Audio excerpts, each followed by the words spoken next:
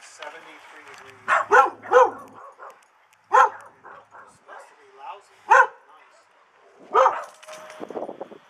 to hush.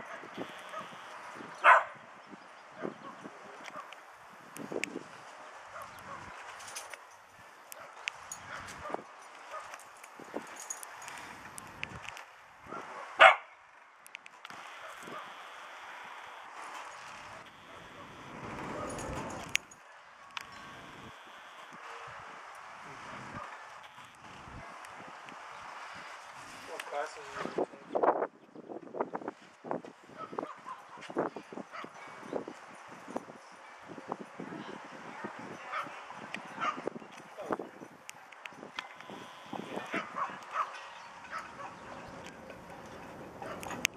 they have an EMT